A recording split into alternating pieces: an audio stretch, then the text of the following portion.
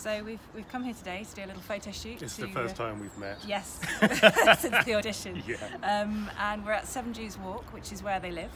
Uh, it's just behind us. You can probably see the blue plaque. Um, it's such a privilege to be here um, because not only is this where they both live, but this Yeah. is where Eleanor actually died as well. So. Uh, yeah, and we're doing a little photo shoot. We've, we've, we don't always look like this. We've dressed up in in uh, the appropriate costume. Well, it's the weekend. it's just isn't the weekend.